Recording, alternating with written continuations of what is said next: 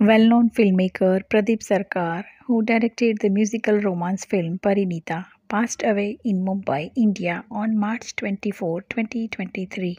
He had viral fever on March 22nd.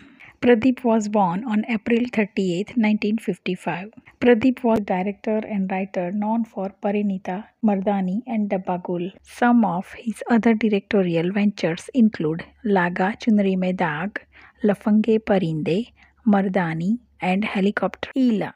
He also directed several web series such as Cold Lassi or Chicken Masala, Arranged Marriage and Forbidden Love, and Duranga.